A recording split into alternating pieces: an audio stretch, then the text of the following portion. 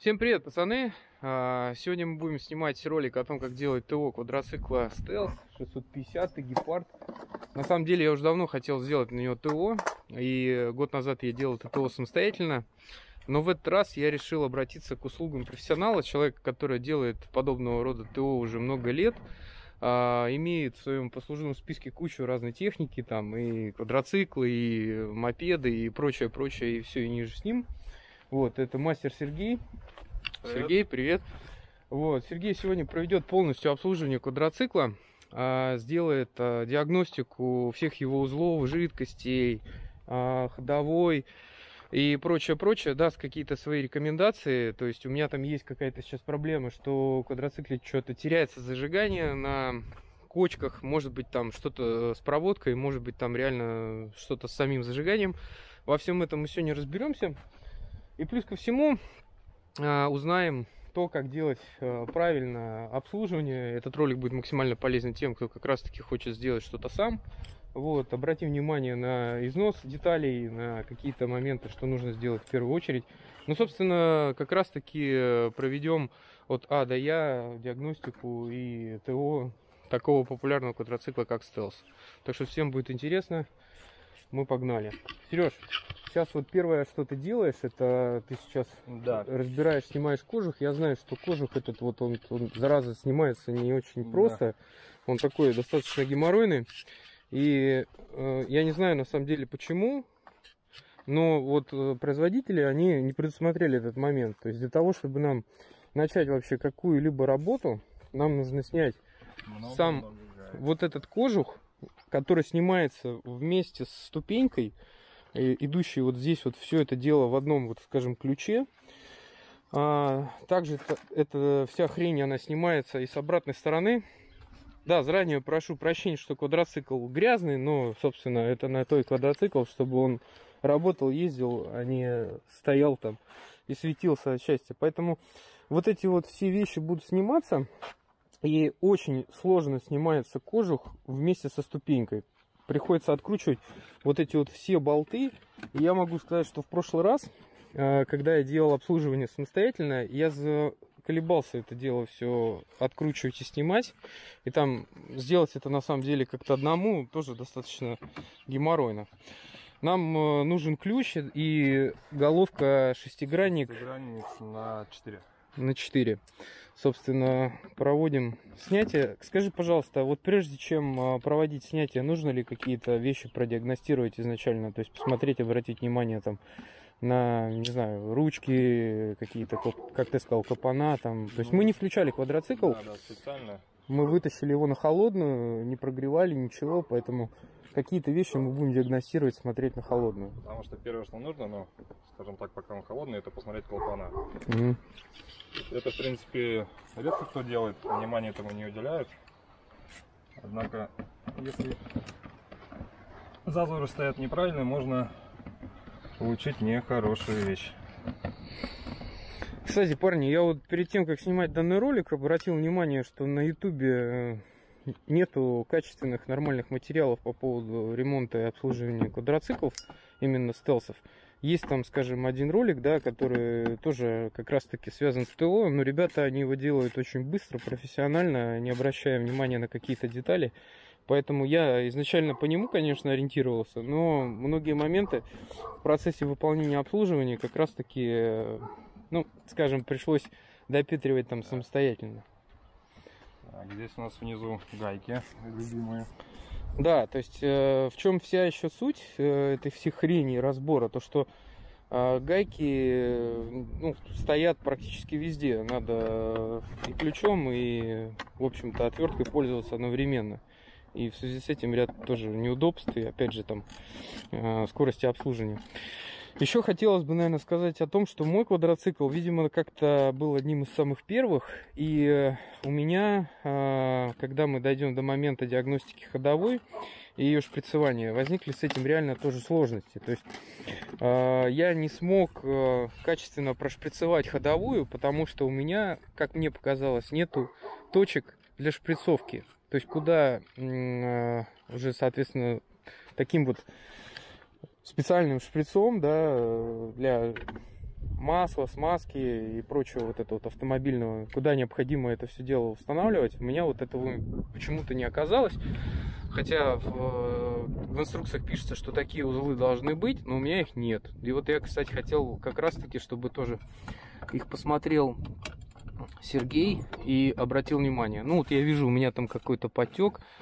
А, может быть, там тоже что-то хреново, что-то уже там чего-то как-то на шусе. То есть надо будет все дело сегодняшнее это посмотреть, разобрать и, грубо говоря, тоже вам показать, где, что и как. Их на самом деле можно сделать самостоятельно. Это... Узлы, узлы шприцовки. Да, не, не так трудно. Скорее, скажем так, по времени затратно. Угу. Купить отдельно вот эти вот забыл как называется. Ну, штуки, на зоне такой странная. Но для этого нужно снимать всю подвеску. Соответственно, нужен нормальный, нормальный токарный станок вот, и сверлильный.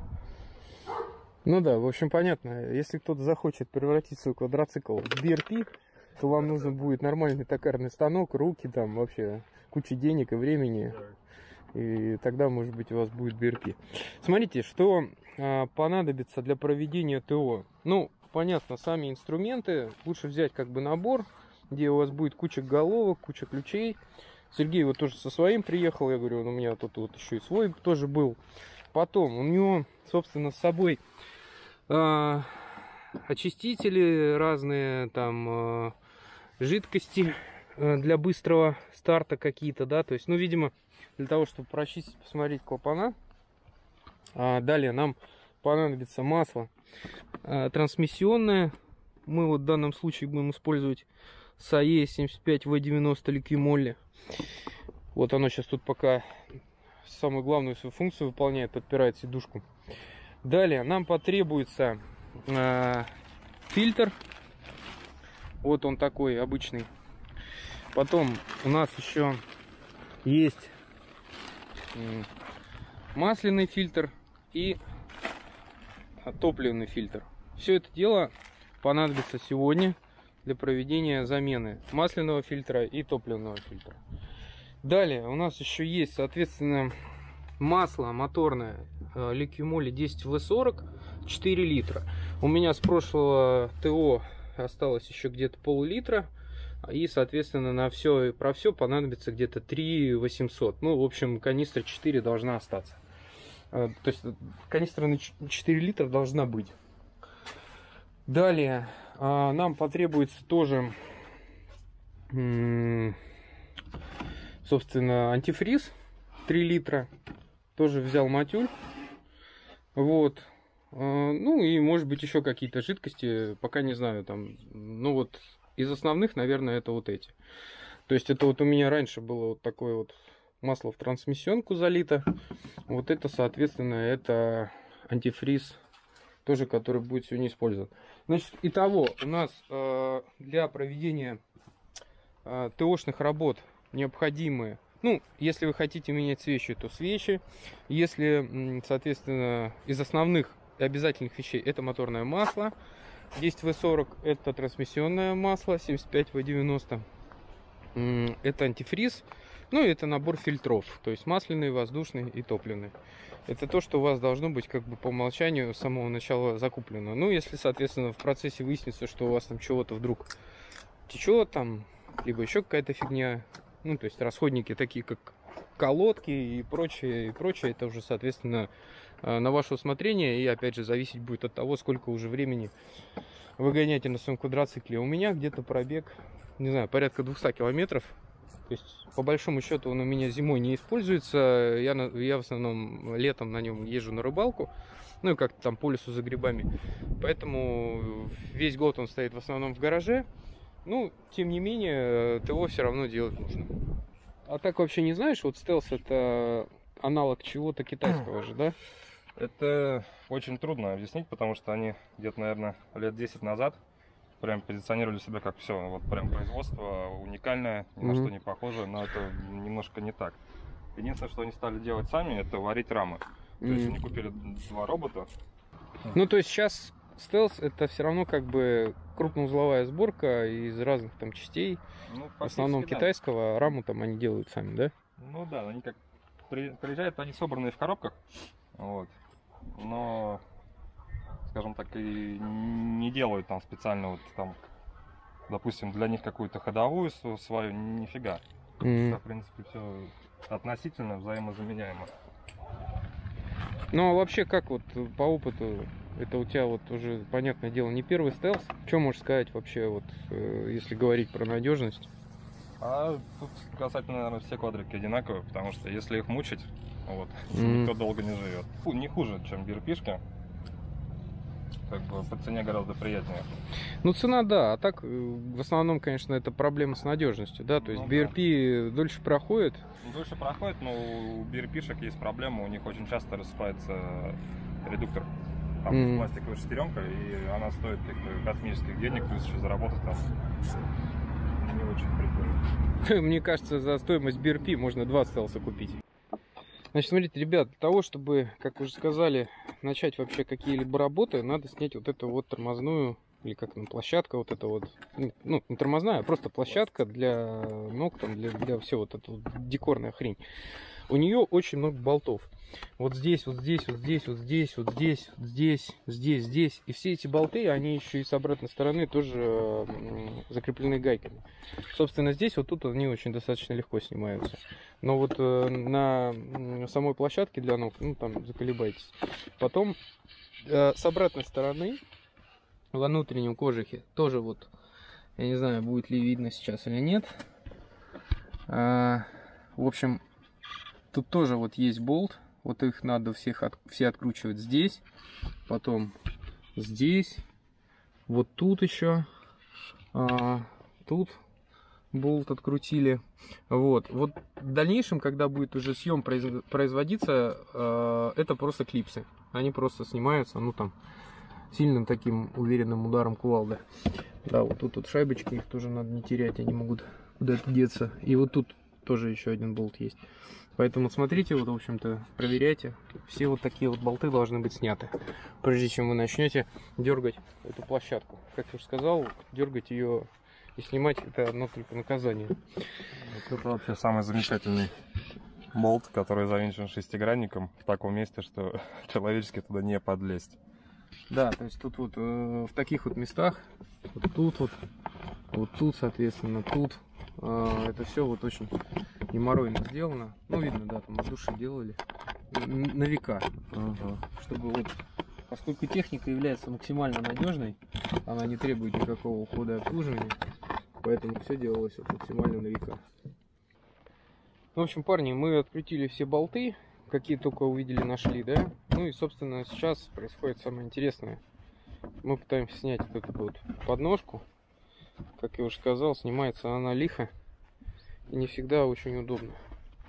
Я уверен, что там сразу как бы сходу ее снять, это, конечно, тоже надо попрактиковаться.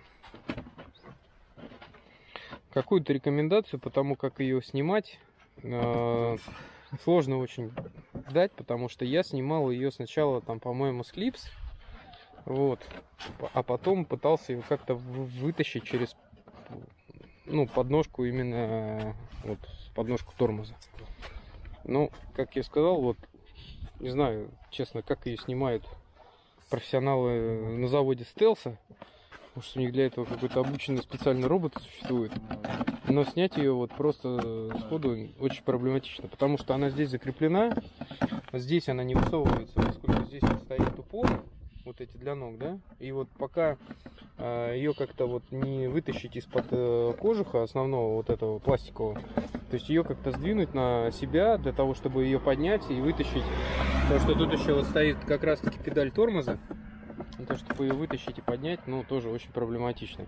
Не знаю, если у кого-то будут потом какие-то комментарии, как это делать лучше, пишите, конечно, но что я долбался, что Сергей сейчас тоже пытается, но это на самом деле не очень просто. И поэтому совета никакого дать не могу. Пробуйте, экспериментируйте. Повезет, не повезет. Да. В общем, для тех, кто будет это пытаться сделать, смотрите, во многом может как раз таки быть ну, неудобно снять ее еще из-за того, что там забилась грязь.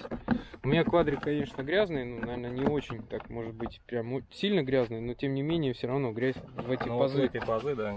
Она забивается, и э, из них потом тоже, как бы, все это дело может с трудом доставаться. Поэтому смотрите и э, чистите там Суть тут какая, что вот обычные клипсы, да, и они ни на чем больше не держатся, как тем, что просто их оттуда надо отогнуть.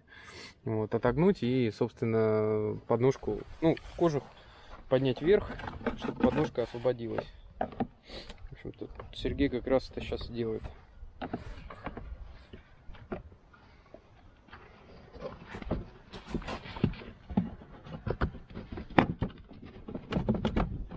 Самое, наверное, стрёмное это подумать о том, что, блин, это же может сломаться.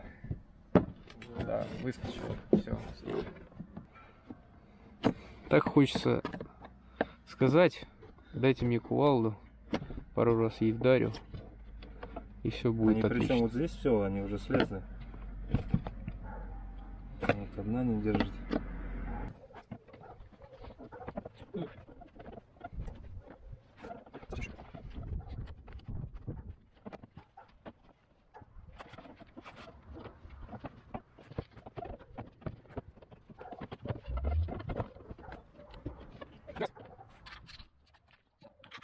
Победа.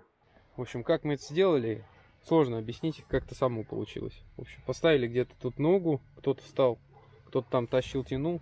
В общем, ситуация такая же. То есть все в клипсах, в штырях. И снять это дело все как бы очень комфортно, ну, никак не получится. Поэтому, ребят, вам в любом случае придется этой хрени мут дохаться. Теперь основная тема снять саму подножку. В общем, сняли мы ее. Кое-как получилось, еще не сломали.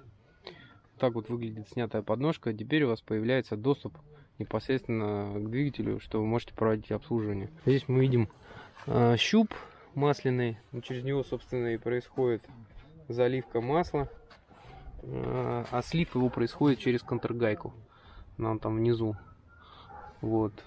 А, ну и здесь же будет сниматься коробка и меняться масляный фильтр. То есть нам просто кожух надо вот это снять, да? Да. Ну, он у нас снимается, слава богу, в лед. Головы вот так стоят, поэтому... Mm -hmm. А ты вот сейчас первым делом будешь диагностировать клапана, да? Да, но я думаю, что мы их просто померяем. Mm -hmm. И там, скорее всего, все хорошо. Mm -hmm. А что еще нужно продиагностировать перед проведением работы? Пока он холодный? Да. Ну, из холодного только клапана больше нечего смотреть. Ну а потом после клапанов? Потом, соответственно, после клапанов мы его греем, mm. сливаем старое масло. Масло сливаем на горячую, да? Да, на горячую. Вот, э, соответственно, пока, он, ну, пока сливается, сливаем масло из, ну, из редукторов. Угу. Вот, там тоже есть особенности, чтобы до них долезть, нужно снимать защиту. Угу. Ну, посмотрим. Да, кстати, хотел показать еще Э, небольшой момент, связанный с аккумулятором. Аккумулятор здесь стоит обычный дельта. Ну, наверное, как и на основных всех квадроциклах. Вон он, дельтовский. Так, 12 дельтовский. вольт. И он у нас... 20 э, ампер часов. 20 ампер часов, да. Он у нас АГМовский. У меня случилась однажды история такая, что у меня квадрик, понятное дело, стоял э, всю зиму. Я забыл отключить клеммы. Аккумулятор, ну, понятное дело, за это все время разрядился. И я когда включил квадроцикл, понял, что все, трандец, я приехал. Собственно, вопрос замена аккумулятора это где-то 4-4,5 тысячи рублей. А, ну, так-то делать не хотелось. Думаю, если аккумулятор все-таки сдох, то хрен с ним, как бы, да, я ничего не потеряю, попробую с ним поэкспериментировать. Я посмотрел э, в интернете, в принципе, что АГМовские аккумуляторы, они являются как-то самовосстанавливающие, то есть они э, очень устойчивы к различным перепадам температур и э, длительной разрядке. Собственно, что навело меня на мысли, что в принципе попробовать восстановить его можно. А в нем используются маты. Э, маты, они, соответственно, там пропитаны электролитом, и э, вот эти маты как-то это все дело вот в себе там синтезируют. Но я, в общем, вдаваться в нюансы не буду. Общем, что я сделал? Я подключил его к зарядке первым делом. Ну, зарядка показала на нем 6 вольт, то есть 12 вольт она уже на нем не давала. Зарядка у меня Goodyear, э, смарт-зарядка. Собственно, я понял, что аккумулятор мертвый и э, длительными зарядками не восстанавливается. Хотя, если вы будете проводить восстановление своего аккумулятора, купите э, вот эту вот смарт-зарядку, она там стоит что-то 3,5 тысячи, не сильно дорогая, но она, в принципе, автоматически сканирует э, напряжение там вашей батареи и подбирает режимы для ее работы. У меня эта ситуация первонаперво не помогла. Я в итоге что сделал? В общем, я открыл вот эту крышку, которая вот здесь. В общем, она у меня сейчас, так скажем, тоже так на соплях прикручена. И здесь вот такие вот колпачки. В общем, колпачки и прокладка между ними. Колпачки легко снимаются. Вот. И вы можете, в принципе, провести его до заправки. А, я, в принципе, провел эту дозаправку обычным электролитом. Немножко добавил его туда, совсем чуть-чуть. И дистиллированной водой. Конечно, лучше всего использовать специальные там ареометры и прочую всякую хрень, чтобы мерить плотность. Я не знаю, я совсем чуть-чуть шприца влил туда электролита, прям капелюшечку в каждый из контейнеров, и добавил туда э, дистиллированной воды. Потом включил его в зарядку, и зарядка пошла. То есть стало хорошо. Аккумулятор зарядился, держит теперь свои 13 вольт, как, как и должен держать. И в целом все нормально. Так, ну что у нас, Сергей дальше проводит съемку вот это вот. Также у нас здесь за вот этой крышкой расположен воздушный фильтр, поэтому она тоже вот так вот снимается, и воздушный фильтр меняется вообще на раз-два. Воздушный фильтр, который я купил, это просто кусок поролона. Сергей говорит о том, что их еще надо пропитать чем-нибудь. Так что мы их еще чем-то пропитаем. То есть, в принципе, его менять как бы каждое ТО и нет смысла. Нет, это вообще обычная штука, она стирается с ферри, mm. это поролонка. Вот. Э, бензином нежелательно, mm-hmm. вот, потому что губка разбухает, становится больше. То есть, ну, один-два раза она выдержит, потом уже станет плохая. Удобная штука. Вот. Mm. Бывает магнитная, бывает на таких зубчиках, то есть любой болт прям mm. выручает каждый раз. Ужас какой. А ты где-то купил или это самоделка? Нет, это купил. Mm. Это в Леруа Мерлен прям продается набор. Там одна магнитная, одна такая. Каждый раз пригодится. Я уверен, что мы здесь тоже что-нибудь уроним. Угу. Вниз куда-то, да? Да, вниз Поддон. куда-то, и без нее не достанем. Вот. Понятно? Знаете теперь. Слушай, а можешь еще тоже вот вкратце рассказать? Вот смотри, у нас тут что получается аккумулятор. Кстати, с аккумулятором тоже я намудохался, клеммы сделаны нифига неудобно. То есть ты откручиваешь как бы основные болты и под ними э, такие площадки и эти площадки, они тоже все падают, в общем-то, нифига не держатся. Закладные поэтому... вот эти, да, которые? Да, поэтому снять эти э, нормально каждый раз там э, аккумулятор, поставить его там, ну, чтобы он не разряжался, это тоже, конечно, тут еще гемор. Гемор, вот. когда их потеряешь, а, вот ну, одну эту штуку, и все, потом да. уже идет колхоз из гайки выпиливать. В общем, их на зиму, конечно, лучше отключать. Потому что за, зим, за зиму он у нас стопудово разрядится. А что у нас вот здесь? Вот, ну, сам по себе, понятно, аккумулятор. Так, аккум, э, реле стартера. На нем же висит вот в бочонке. Всегда выпадает. По идее, должна mm. быть там. А, внутри, внутри да. вот пазу в этом. мозги. Угу. Мозги это вот, да, блок управления да. какой-то. Ясно. А это что такое? Все.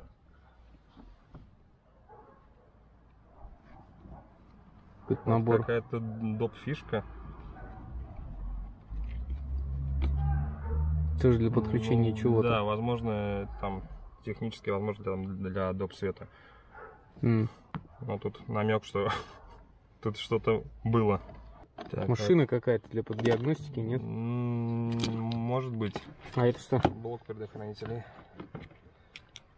Вот кто придумает, ну, скажем так, инженерно, чтобы не разбирать, Mm-hmm. Прям столько, столько каждый раз на квадроцикле. Прям памятник при жизни ставить. Да, это не машине. Машине все-таки попроще взял как-то. Маслица там слил. Новое залил. Свечу крутил. Под этим защитным кожухом, по-моему, бак находится, да? Доступ к баку. Ну, доступ, да, но он нам сейчас не интересует. Нам нужно снять площадку, чтобы mm. добраться до башки второй. До башки цилиндров. Да. Потому что, ну, если супер длинные, супер тонкие руки, Мгм. я не знаю, какие-то волшебные инструменты, то можно пролезть, но это не в этой системе. А вообще, вот смотри, пластик-то нагревается медленно, да, на солнце? Да. То есть, в принципе, если так-то проводить ТО, то лучше на жаре. Подумать, что можно долезть э, нормально до клапанной крышки. В принципе, можно, Мгм. но это будет нифига неудобно. Мгм. То есть проще отвинтить болты, потому что и подножка отвинчивается, и тут как раз таки 6 штук, треть Мгм. от того, что надо снимать. Мгм. Теперь удобно. А, ну вот, да. Теперь наконец-то мы видим, что у нас тут двигатель-то и был. Что это? Ездила штука Так, не случайно. соответственно. Был какой-то двигатель. Слушай, а я он, вот смотрю. он же на снегоходах такой же стоит. Да? Да. Ну, в основном, конечно, все сервисные работы, они здесь идут. Ну, как бы, скажем так, под пластиком. Номер двигателя. Ну, я имею в виду с этой стороны. Да. Ну как, ну и с этой стороны тоже. Потому что башка-то, ну, цилиндр один за одним и под углом. Ну, тут просто что у нас? Тут просто вот выхлоп, кожух его, да? А это что? Ну, это с другой стороны крышка. Тут по ней ничего, по, су- по сути-то и нет, да? Нет, под ней как раз таки этот вариатор. А, а масло меняется в вариаторе? Нет, нет, тут э, как вариатор это не совсем коробка передач. М, Там ремень, да, наверное, Да, стоит? да, там цепуха. В общем, там две детали. Понятно. То же самое, что, ну почти, похоже, что и на скутерах. А здесь ты у нас снимаешь А здесь привинчены два болта, которые держат э, как раз таки боковую крышку. вот это вот. Да, которых не видно. Ясно. Короче, их тут тоже надо сначала открутить.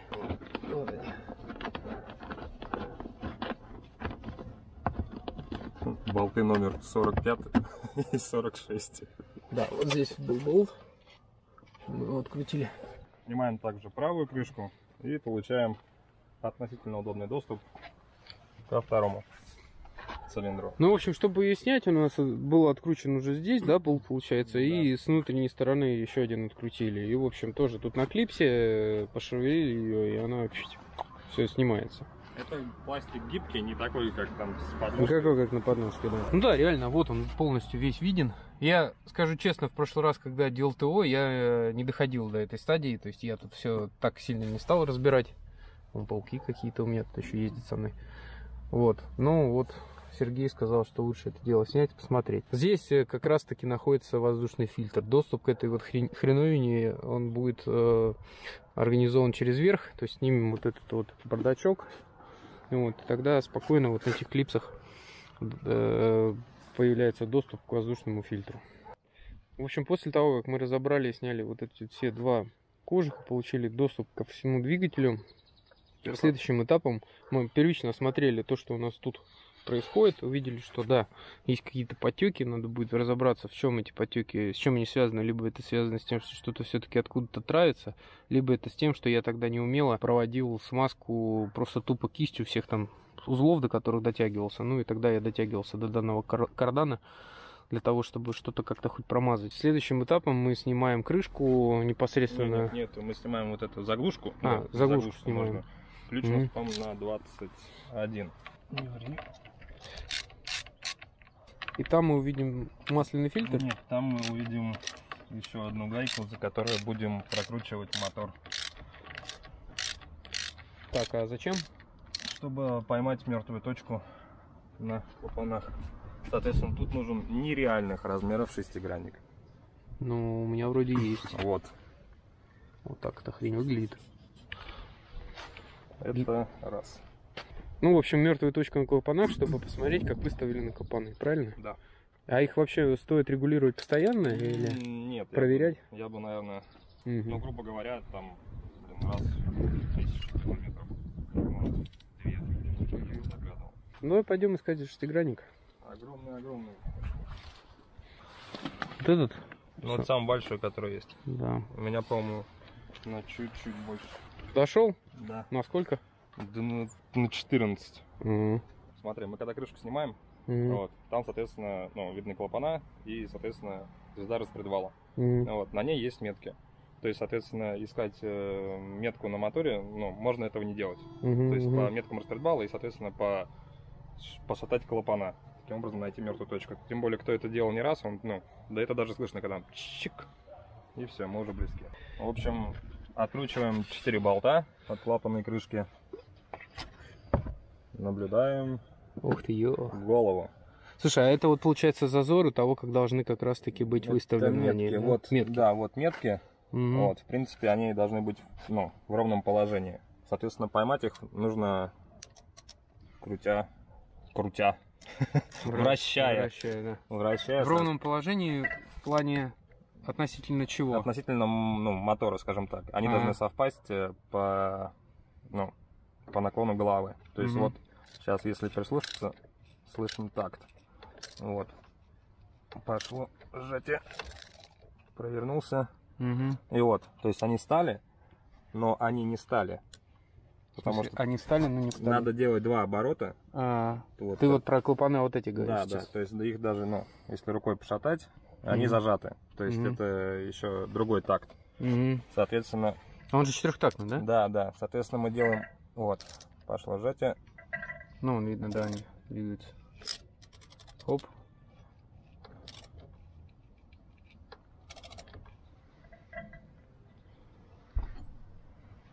Все. Все, они теперь в самой верхней точке да, должны? Да. То есть ничего страшного, если провернуть вот так, потом Мгм. можно вернуть обратно. Ни на что это не влияет, потому Мгм. что единственное, чего нужно добиться, это чтобы распредвалы, ну, В общем, наша основная задача, если так простым языком объяснить, чтобы клапана находились в не- самой верхней точке. ну, поршень, соответственно, а клапана должны быть не зажаты. То есть это, ну, мертвая точка. Вот. И нужны вот такие ребята. Это нам 15 и 20 Мгм. миллиметров.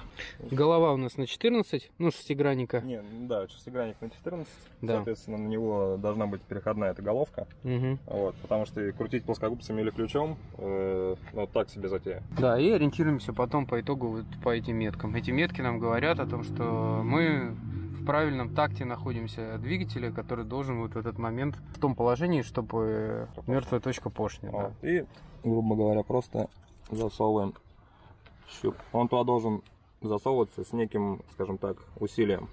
Но проходить. Между ними, да? Да, то есть э, выпуск на 15, Мгм. соответственно, точнее впуск на 15, выпуск э, всегда по больше имеет зазор. Мгм. Туда также. А регулировку будем вон винтами этими проводить. Да, ну то есть, ну здесь она не требуется. Мгм. То есть здесь, грубо говора. Все нормально отрегулировано. э, Да, Плотненько зашло. та волшебная головка на 9, которой никто не пользуется. Оттуда. Оттуда, соответственно, также не очень удобно. Там свободненько как-то, да? Нет, там не свободненько попасть могу. наверное. Вот. Соответственно, двадцатка нормально зашла Ага. в один. То есть она плотно-плотно должна входить, ну да? да, ну как? Не попал, по-моему, Не попал, да. Повыше. То есть, если ты в нее не, за- не можешь засунуть, их Ну. надо ослабить, Да. И вот мы, наверное, сейчас это и будем делать. потому что это что-то слабенько. Странно. Вообще, в этот ты вроде нормально зашел, а в тот что-то не получается. Но это не могло быть из-за того, что вот как раз таки мы там покрутили чуть-чуть. вот. Не-не-не-не. То есть, вот в этой точке они все равно должны нормально можем. быть. И туда, и сюда еще пошатать. Мгм. Но они вместе на одном распредвале держатся. Поэтому они стопроцентно оба расслаблены. Так, ну да, сюда двадцатка залезает. Это второй клапан, да? Да, это выпускной. И на что влияет вот неправильная регулировка э, клапанов? Ну, неправильно. выпускного. Грубо говоря, если их перезажать, Мгм. то клапан может поцеловаться с поршнем. Ну вот у меня же он получается сейчас зажат сильно. Нет. Двадцатку этого запихиваю. Но ты только в один запихиваешь. Да, второй сейчас мы чуть-чуть подожмем. Так вот я и говорю, я, если. я уверен, там где-то, наверное, 18 или 17. Ну, то есть погрешность, но не такая Ну, типа критическая, нет. типа, да? Типа нет. То есть реально могло за это время просто разболтаться. Или всё-таки была какая-то Зазор настройка? обычно уходит на, наоборот э, в большую сторону. А, то, То есть это, они- видимо, изначально было сделано. Да, так, это изначально сделано, и поэтому, грубо говоря, сделано нормально. Мгм. В общем, у нас получилось так, что все-таки пластинка зашла, а, и оказывается, у нас клапана нормально выставлены, поэтому регулировать их все-таки не стоит. Да, это... Сергей, Сергей все-таки смог туда запихать ее. И вот, как он сказал, он ориентируется на пластинку, которая а, как бы легкие следы а, остаются на ней от самого клапана. С небольшим вот, усилием. С небольшим усилием. То есть у него вот, скажем, такой подход к регулировке. В нашем случае вроде как как раз таки все. Мож, можем сказать, что я запихнул туда 20 миллиметров, а там где-то 19. Ну, 19 ну, с половиной, ну, ну, в общем, это, около это в допуске. Угу. Окей. И еще по поводу, кстати, э, всяких смазочных материалов. В начале видоса а, была вот такая вот хрень.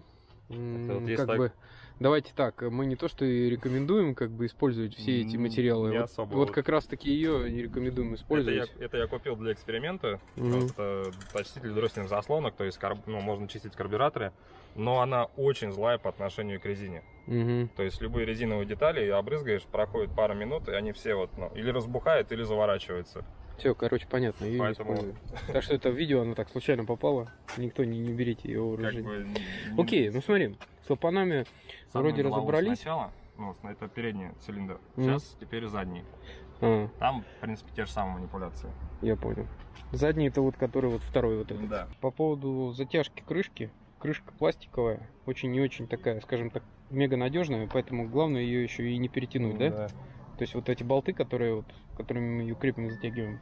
Главное так тоже. Ну, до какого уровня ее надо затягивать? Там на них есть резинки, ну, Мгм. грубо говоря, э, должно быть чувство, ну, скажем так, металла в этом случае не особо подходит. Но то есть э, здесь нет какого-то особого давления, поэтому, грубо говоря, вот усилие, скажем так, от плеча, это уже более чем достаточно. То есть А- не, не надо большим вертком, просто вот на вытянутой руке А что будет, если ее перетянуть? она лопнет. А, и Да. все понятно. Держаться нормально, плотно крышка не будет. А там, в свою очередь, грязь, песок и все прочее, что может попасть. И, в общем, ваш двигатель скажет привет. Ну, э, мы еще говорили по поводу пластин. э, Шипов. щипов. Ну, проверяли зазоры Да. на клапанах. И э, ты сказал замечание одно из такое тоже важное, что, в общем, если у вас получается по итогу пластинка, скажем, с трудом вы ее туда можете засунуть, ну вы можете ее туда засунуть, то по идее как-то ослаблять э, клапана не стоит. То есть их лучше оставить в таком виде, потому Ну, что со временем они все равно Да, расшатываются. они все равно идут в плюс, поэтому это не столь критично. Чем нежели, если бы они были Да, бы... вот если бы они были, она то легко залетала, тогда 100%. Все, ок, вот это принято. Хотел тоже поделиться с вами историей данного квадроцикла. Когда-то в свое время я его подарил другу, друг что-то у меня фанат немножко других вещей, не оценил мой подарок. В общем, в итоге мы потом порешили, что я ему другой подарок сделал, а он мне его, в общем-то, отдал. Я бесконечно был рад, что мне появился квадроцикл, но как-то изначально к этому не очень, наверное, был готов, потому что, ну, скажем, квадроцикл ездил, да, но никогда не думал, что у меня там свой появится. Когда я ему подбирал квадрик тоже, да, думал, что-то такое взять, наверное, что-то от души, не думал о том, что техника это будет длительно им использоваться как-то, да, ну, то есть думал, так, может, как игрушка по фану погоняет, где-то там оставит, и, может, выйдет там несколько раз. Но вот я могу сказать, что, наверное, не знаю, за эти деньги, за которых я его еще покупал, там что-то в районе 400 тысяч он стоил, в принципе, себя он максимально, наверное, как-то оправдывает. То есть за эти деньги можно было бы, наверное, только какую-то бэушную Ниву купить, и э, если использовать куда-то там, чтобы выехать. Если говорить все-таки про квадрик и культуру квадроциклов, это, наверное, все-таки другая тема, где ты можешь там погонять реально в каком-то говне, э, по бездорожью, в лесу, уехать куда-то на нем. То есть это все-таки ощущение того, что ты едешь так или иначе на мотоцикле каком-то, пусть четырехколесном. Вот, то есть там ветер в ушах, там все дела, ну, то есть ощущение скорости другое. Это, конечно, не, непередаваемое ощущение дарит. Вот, а так, за эти деньги, за то, что вот он свои 400 тысяч когда-то стоил, купить что-то подобное, наверное, ну, вряд ли как-то возможно. Плюс у него тут что, 650, и он 50, 51 лошадиной. И этих, этих лошадей хватает, ну, вот, вот, вот так. То есть у меня еще есть к нему прицеп, э, тоже хотел вам показать. Если так сказать про те апгрейды, которые я сделал. Я купил такой прицеп к нему. На нем я таскаю лодку, на нем я таскаю двигатель к лодке. И, в принципе, что, собираюсь, сажусь, все это дело прикручиваю квадрику и там через лес туда-сюда уезжаю в места интересные, где можно порыбачить. Прицеп, к слову, недорогой, тысяч там 20 он стоит. В принципе, что, очень простой, обычный, колеса, да, там, грубо говоря, ступица у него еще, собственно, с подшипниками. Ну и все, и вот он, обычный прицеп, что там, килограмм 200 у него подъемность. Можно также по дому что-то вывести, какой-нибудь там мусор, какую-нибудь хрень возить. А так, в основном, что, закинул, поехал на рыбалку. Про вариатор э, в целом, ну, какая у него там надежность, как, как часто, может быть, там надо смотреть, следить. Ну, тут опять же все То есть масло в коробке, оно вообще вот, ну, меняется, понятно, а что еще там стоит проверять? Да, тут смотри, коробка и редуктора. Угу. Тут масло меняется, грубо говоря, в четырех. То есть двигатель, коробка редуктора. Угу. Вот. Вариатор можно, ну, крышку сбросить, посмотреть, померить э, ремень. Угу. На нем есть маркировка, и, соответственно, штангенциркулем измеряется, то есть сколько у него осталось еще живого тела. Так, если меняется, то ремень вот этот приводной, да, вариатор? Да, но он, они обычно, как объяснить, если нигде не топить, то он долго-долго живет. Если не топить, то крайне быстро. Ну, безопасная для него, скажем, высота брода это какая? Вот, вот. У него что, заборник воздуха здесь? То есть это вот где? Вот так? Грубо, грубо, Вот, грубо есть, ну, говоря, По колено? да, грубо говоря, по верхней точке, то есть откуда он забирает. Но я бы так ну, не стал бы топить.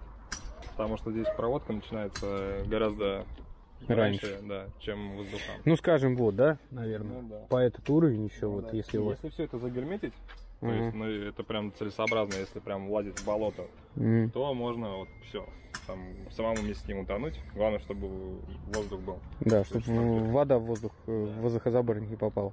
У нас история следующая. У нас метки по второму а, цилиндру находятся с обратной стороны, поэтому один крутит, другой смотрит.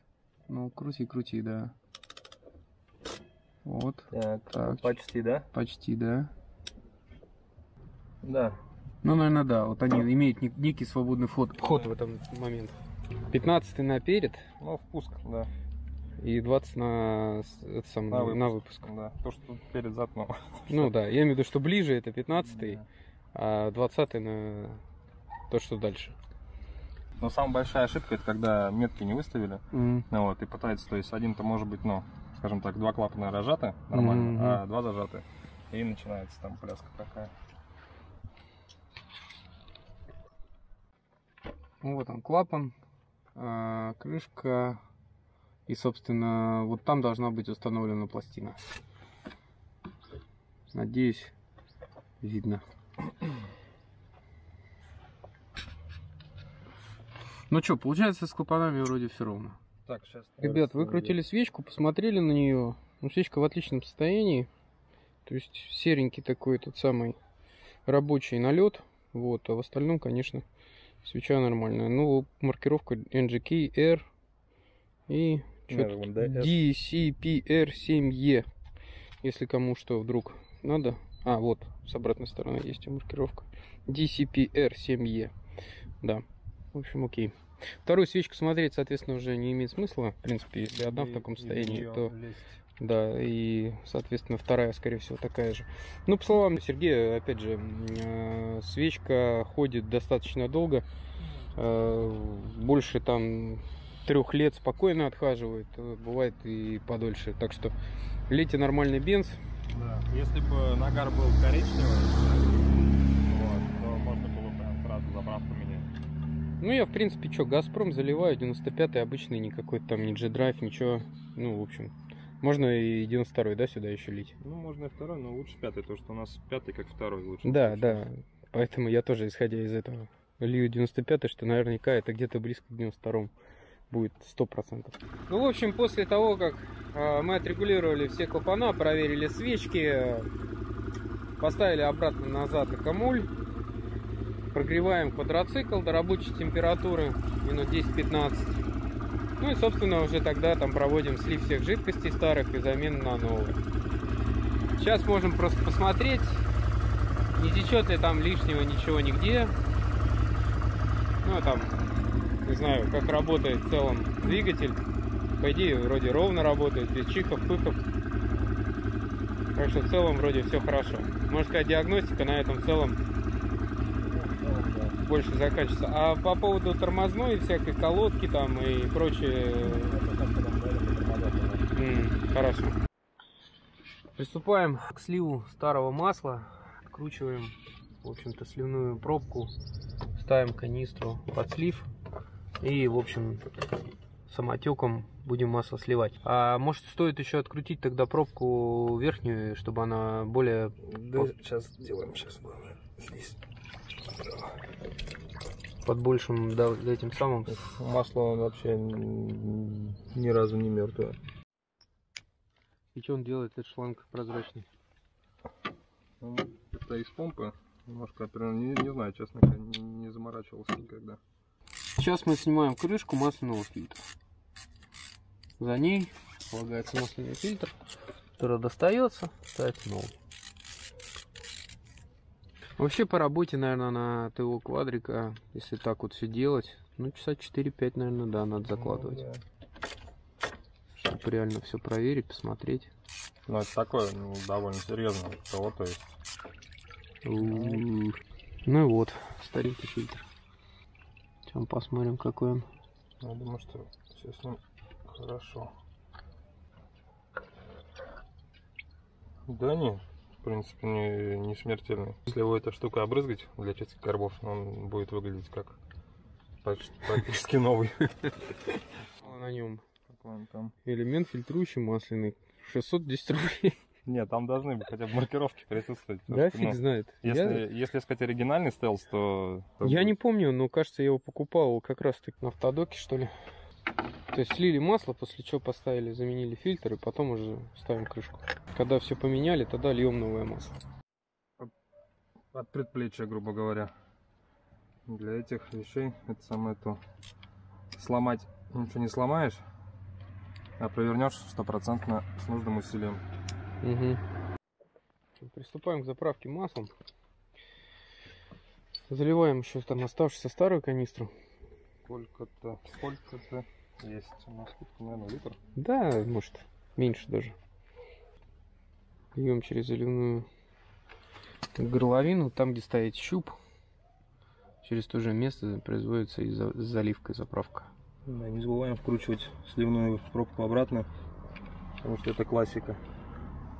Заливаем новое, да, старое нет. А контрольной пробки тут нету, да? Здесь в редукторах есть, я вам покажу. Угу. Ну, то есть какой совет по уровню? Доливаем какое-то количество, дальше э, меряем щупом. Дольем, да, то, что как бы в мануале указано, но на самом деле какой техники не коснись, не всегда верное количество. А то, что ему надо поработать там или еще как-то, чтобы оно... Да, да, да, это мы сначала зальем, заведем, mm-hmm. оно mm-hmm. все разбрызгается. Потом заглушим, подождем, пока стечет вниз, проверим уровень. В общем, друзья, смотрите, какая история интересная. У нас э, было масло где-то вот, ну, по уровню, наверное, около литра э, в старой канистре. В новой было влито тоже где-то, наверное, литр, может быть, еще, ну, литр, там, не знаю, 200. И получается так, что мы вот максималки. То есть уровень масла сейчас почему-то у нас слишком большой. Так что это какая-то фигня в плане того, что пишется в мануалах, сколько туда должно входить.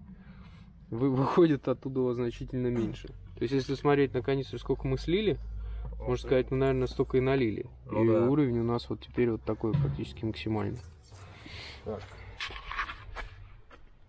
Сейчас будем исправлять, будем излишки убирать. Вот. Ну, в общем, не всегда стоит верить заявленным цифрам того, сколько на самом деле требуется и сколько э, действительно входит.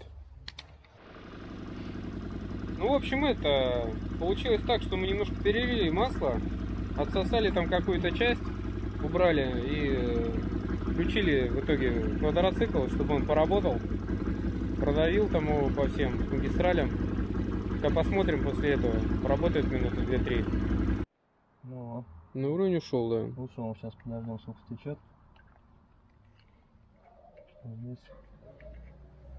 все равно там мне так многоватенько. Да, чуть-чуть перебор. Сейчас сколько стечет. Тут надо быть аккуратным. Тут нам надо вот эту гайку отвернуть, да? Да, с помпы. Через нее будет слив происходить, да? Да. И потом, собственно, мы ее обратно ставим на этот самый хомут и одеваем. Мы еще открываем там сейчас крышку на радиаторе.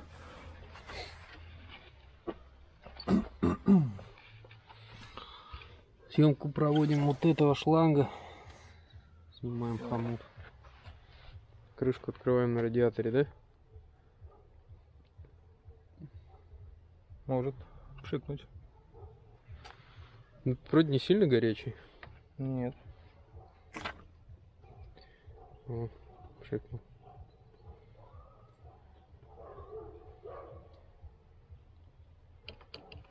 Блин, да он тоже такой Живой. живой, да.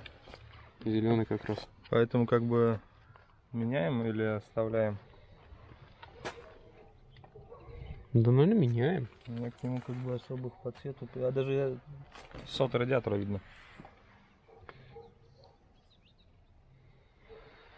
Ну, я не знаю, что там было залито. Поэтому, наверное, лучше меняем. Ну давайте так. Тем более нашим зрителям будет, наверное, интересно. Мгм. А как же все-таки менять антифриз?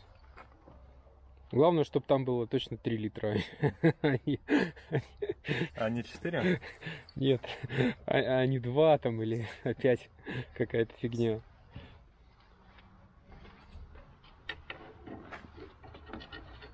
А сейчас будет грязно-грязно.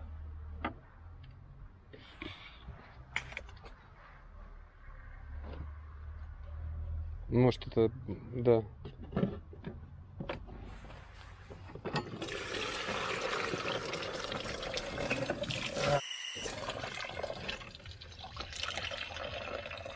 Наджегся? Не, хорошо, не догрели до конца. Всю жижу из квадрика слили. Фу, воняет. Какой-то херней. Ждем, пока все сольется, да? а. Ну, там как. Кто-то бывает сдергивает помпу, но это стрёмное дело, потому что прокладка может не выжить. Ушло? Да. Что, нужно прокачать еще что-то, да? Ну, сейчас зальем когда. Новое, да? Да, сейчас капает. Да, запах не очень хороший. Мгм. Да я же не знаю, что там было залито, поэтому лучше сейчас зальем нормальный. Тоже там ликвимолли этот. Ну, это самое лучшее из того, что можно достать. Ну, тем более, пускай уже точно будет. Там как бы цена его золо- золотая. Весь антифриз старый. Что-то этот патрубок. Ну, Серега говорит, что там еще в бачке. В бачке, да, остается всегда какое-то количество. А бачок ты где говоришь? Вот Ну, этот вот. Вот расширительный бачок. Ага, да, вон видно. чтобы из него слить, надо открыть крышку его и скинуть трубку. Мгм. Ну и надо. Сука. Ну ты его вот открыл, В очень удобном месте. и дальше ты его снимаешь, да? Потому что все для людей. Чтобы можно было сделать и не раз. О, так, полилось. Клейку взяли чистую, потому что ту с той, которая была в масле, понятное дело, нельзя. Можно, наверное, заливать даже попадая четко в цель. Да, Ну, у нас есть еще одна лейка. взрослая. Взрослая, да. Ну, как сказал Серега, она должна быть все-таки чистой, потому что у нас там фильтров нет. Ну, и льем матюль. Все лучшее. Да, только смотри тоже по скорости, а то Угу, я вижу. Может выскочить. Но все равно потом через трубку надо давить будет. Что, воняет так же, да? Не, вроде не воняет даже. Не, это не пахнет. То воняет какой-то херней с саками какими-то. Так что, может, не зря меняем Угу, мочу какую-то. угу. Так, Пошло. как говорится, раз. Мгм. Что тут пить? Между первой и второй, да. Ну, а уровень как будем определять? По бачку. То есть мы определяем по меткам каким? Не по каким, вот здесь на бачке должны быть мин-макс.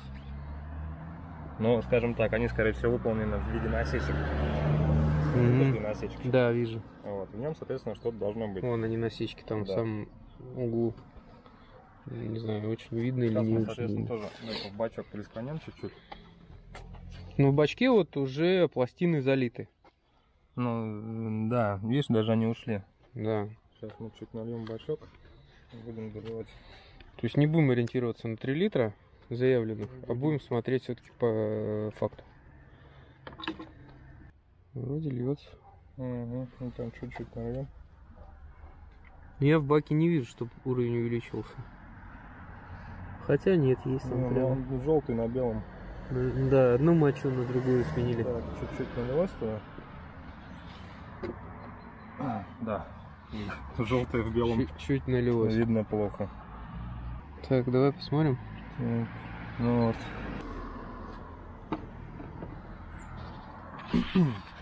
Так, заводи.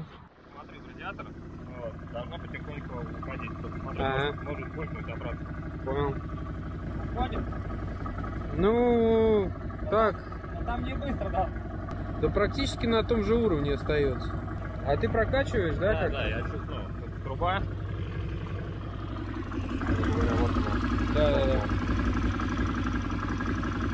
Я фактически почувствую, когда он там пойдет, то труба станет жесткая и теплая. Ага. Ну я не знаю, по-моему, на том же уровне все. Не, он еще, он еще не врубился. А, Я сейчас, грубо говоря, помогаю ему это делать. Залили вот такую вот хрень. Непонятно, что там до этого было стелс залито. У меня уже работает квадрик, не знаю, минут, может, 7, и он еще не включил вентилятор. Я делаю просто обычный вывод, что реально вот эта жижа лучше охлаждает, чем то, что было до этого. Так что я считаю, что менять надо. И от того, что там залито на заводе, тоже заставляет желать лучшего. Сейчас залили нормальную хрень, и вот видно, как отрабатывает она. Серега прокачивает трубки, а, ждет, когда а, жидкость начнет нормально циркулировать по всей системе. Мы, кстати, еще до сих пор этого не добились. То есть она идет, да, видно, что и там в расширительный бачок она идет, вот, вот там вот, но пока еще не до конца. Здесь прокачивается трубка, да, которая гоняет антифриз. Ну, в общем, пока мы еще даже не дошли до того состояния, чтобы это все перетекало в расширительный бачок. Ну, то есть, я так понимаю, надо добавлять, да, все-таки жидкости? Да. Либо просто в расширительный бачок добавить Лучше сюда. радиатор, да? Да. Ну вот, эта трубка хорошо. Мгм. Вот, да, сейчас он контур откроет. Слушайте, ну реально такого не было. Прям я делаю вывод, что действительно хорошая штука этот матюль. Лучше, по крайней мере, реально то, что было. Потому что квадрик реально работает на холостом, вот и еще не включился вентилятор. Это, конечно, показатель для меня. По крайней мере, от того, что было, то, что стало. И причем она не воняет. То есть та воняет вообще какими-то саками, вот, старая зеленая. А это тоже на мочу похоже, но она не воняет. Где-то 2,5 литра. Закрыли мы радиатор, подождали, включился вентилятор первый раз, контур прокачался. В расширительном бачке у нас там на самом деле уровень минимальный. Сергей говорит, что можно, в принципе, оставить как и есть. Ну, не знаю, может быть, дольем до серединки. Сейчас подождем еще, когда включится второй раз контур. И уже будет понимание полное. Но то, что квадрик стал работать а, меньше на э, обдуве, вот вентиляторном вот этом, факт. И то, что он как бы, ну, на мой взгляд, может, сейчас лучше даже стал охлаждаться, тоже, мне кажется, факт, потому что ну, работал он после первого включения, ну, реально долго, пока не заработал вентилятор. Может, там глюкнул термостат, может, еще что непонятно, но сейчас вот, кажется, мне работает он реально поинтереснее. Сняли защиту, вот эту вот, которая на руле. И у нас сразу видно, что у нас почти велосипедный руль. Да. В общем, нам нужно сейчас будет заменить это уровень тормозной этой самой хрени, да? Тут у нас показывается Так, что-то уровень меньше практически. А здесь вот это все да. вроде нормальный. Поэтому тоже будем сейчас эту хрень менять. Вот видно, что тут уровень практически уже внизу. Ну, тормозная жижа, она же, как правило, со временем э, как-то ужимается, да, если так. Не сжимается, она накапливает воду. А, ну вот. Тут вот по этому контуру, в принципе, видно, что Вся она какая-то стала. да, не, Какашливого ненужного. Поэтому, да, ее менять. Сейчас мы будем проводить замену тормозной э, жидкости. Вот на такую уколочку по мануалу, как бы рекомендованную заводом. И, соответственно, нам нужна будет для этого, как ни странно, капельница. Да, самый удобный размер. Мгм. Проведем слив старой жидкости и вот запустим новую. Ну то, что реально ее надо менять. А по поводу подвески, что скажешь? Так, Там тоже мы хотели как-то посмотреть. шприцовок у тебя тут ни одной нет. Ну Вот. Максимум, что можно протянуть. И можно посмотреть гранаты, то есть если там смазка или нет, я взял с собой для шрузов. То есть если там печаль, беда, то накидаем туда. Ну, Окей. Сейчас ты что делаешь? Надеваю этот штуцер для прокачки. На него Мгм. идеально подходит капельница. Угу. Тут колпачок, в общем-то. Да. И вот ты его снимаешь, и тут прокачиваешь. Но она одноразовая. Потому что хватает на, скажем так, час прокачки. Потом ее начинает расколбашивать. Угу. Для чего сейчас снимаешь? Сюда мы будем заливать. А А оттуда с капельницы ты будешь как прокачивать? Слушай, ну в этих контурах лучше тормозов выглядит, нежели в тех. В общем, что, ребят, мы прокачали тормоза, э, прогнали через них новую тормозуху. Вот Серега добивается того, чтобы э, не осталось воздуха в системе. Выгоняет там все пузырьки воздуха. То есть он тут через капельницу все это дело замутил. И, собственно, 5 качков. На пятом зажимается ручка. От- отворачивается гайка. Вот эта гайка, скорее всего. Да. Вот. И после чего происходит прокачка. И потом он ее заворачивает, опять 5 качков. На пятом качке зажимаем ручку. Он отворачивает гайку. И тормоз, тормоз проваливается, так сказать. Сейчас выгоняем весь воздух. Собственно, ну и вот так вот прокачиваем всю систему. Передних, задних тормозов. Ну, ближайшие там еще года два их. Ну да, Ну, это понятно, что не проблема. стоит менять каждый раз, там при каждом ТО. Но я вот ни разу не менял, собственно, сейчас вот Поэтому- поменяем. Ладно. И по цвету видно, что вот старая, такая более мутненькая. Ну и, соответственно, уже вот новая, такая более прозрачная, нормальная. А, Друзья, вечереет, в общем, а, мы хотели все быстренько, на самом деле, сегодня провернуть, но у нас получается, что мы успели сделать только замену масла, а, про замену антифриза, а, поменяли фильтр масляный, понятное дело, вот, и переключились на тормоза. Тормоза заняли достаточно много времени, начали с ручек, а в ручках колодцы, в общем-то, в них прокачали, выгнали все это дело через передние Суппорта. суппорта, да, в общем, потом заморочились тем, чтобы там не осталось нигде воздуха, тоже выгоняли очень долго воздух, с этим все справились, потом переключились на заднюю подвеску, сделали все то же самое там. А, в чем прикол? А, Собственно, справа ручка у нас отвечает за передние тормоза, слева ручка у нас отвечает за задние тормоза. И еще очень прикольная штука это педали. В общем, я так понимаю, она по сути своей носит характер тормозить сразу всеми колесами и отдает и наперед, и назад. И самое что удивительное, она имеет у себя как бы Собственно, бачок. собственный бачок, да, и мы обратили внимание, что при прокачке у нас э, тормозная жидкость с этого бачка, она никуда не уходит. А целью, в принципе, было изначально вот как раз-таки вот эту темную жижу как-то заменить, потому что она, ну, вообще самая страшная из всех, что мы сегодня видели. И э, выяснилось, что действительно контур у них хоть и какой-то у каждого э, свой, но они все встречаются в одном, сейчас Серег покажет, в одном э, цилиндре. И задние, и передние. И вот э, данная педалька, она отвечает за общий контур, который вот, как мы видим, с этой темной тормозухой. И под него отдельно выведена э, Сливной штуцер. сливной штуцер Вообще далеко-далеко. далеко-далеко. Там даже не знаю. видно, Да, нет. покажи сейчас пальцем. Вот он. Вот он. То есть вот этот штуцер как раз таки отвечает за слив вот этой вот всей жижи тем, темной мутной. И вот он прокачивается как раз таки педалькой. Поэтому сейчас мы уже, наверное, закончим эти работы по замене тормозухи. Замену масла в переднем редукторе. В общем, есть верхняя крышка, которая является заливной. Вот, в самом верху находится. И под ней контрольная гайка. А внизу, в поддоне, находится, не знаю, там видно или нет, находится как раз таки сливная горловина. Поэтому отворачивается сначала она, через нее масло выгоняется.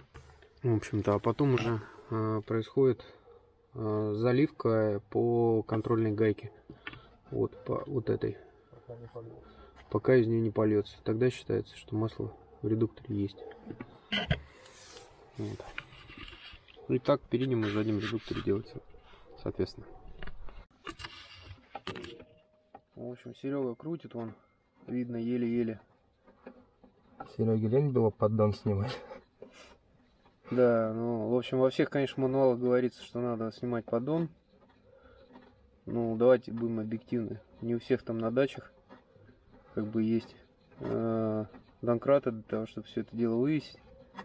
Там где-то ямы какие-то. Но если у вас это все имеется, то, конечно, лучше сразу же делать это все где-то либо в яме, чтобы будет удобнее в разы, либо вывешивая и проводя обслуживание уже полностью с вывешенным квадриком. Тогда вы спокойно и подвески дотянетесь, там промажете все, прошприцуете. Удобно снимите колеса, тоже там все проверите, все посмотрите. Ну и соответственно по всем вот этим вот сливным местам тоже спокойно будете до всего иметь доступ. Так что как бы имейте в виду. В общем, начинаем а, в заднем редукторе тоже проводить смену масла. А, получается, у нас заливная пробка находится здесь. Сливная вон она. Находится дальше всех. Да, и у нас есть контрольная еще пробка. Находится она с обратной стороны. Ну, проводим, собственно, последовательность такую же, да, там. То есть, если спереди у нас пробка была внизу поддонную, то здесь мы ее отворачиваем сбоку, ждем пока сольется масло, при этом отвернув заливную пробку, чтобы э, масло нормально стекалось.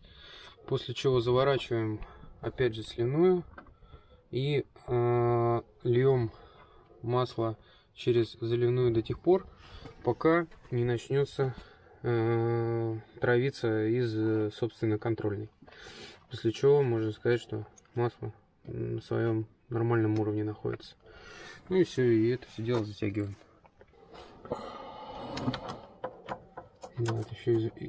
извернуться надо. Угу. Вообще еще раз вот говорю о том, что действительно лучше проводить обслуживание где-нибудь на яме, либо вывесив на донкратах. Вот сейчас вопрос, я себе сильно ударю по пальцу, когда она сорвется.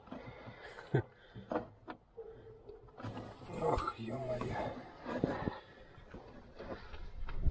Ну все, мы слили все оставшееся масло с редуктора.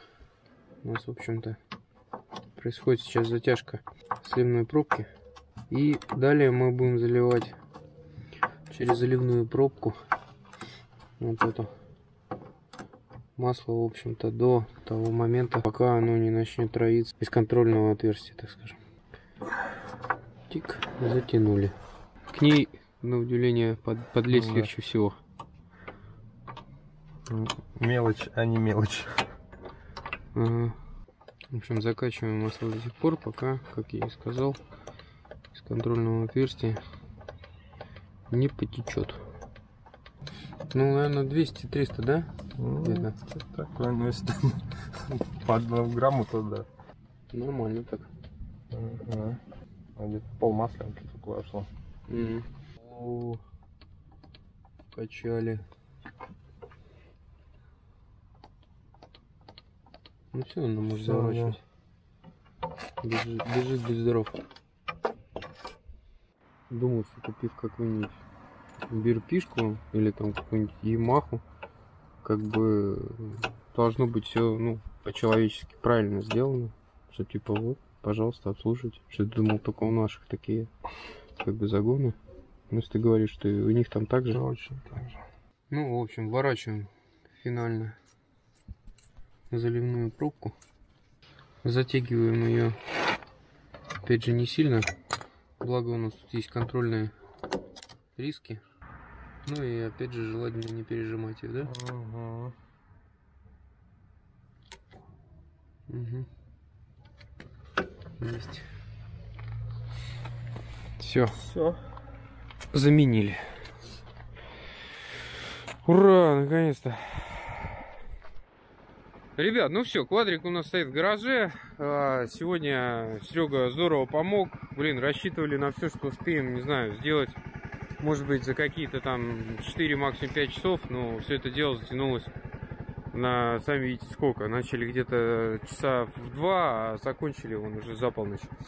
Что было сделано? Поменяли масло в двигателе, э, проверили клапана, поменяли масляный фильтр, а, поменяли антифриз, э, поменяли масло в редукторах, э, тормозуху тоже поменяли, вот, прокачали. То есть, ну, такие работы достаточно трудоемкие, как оказалось.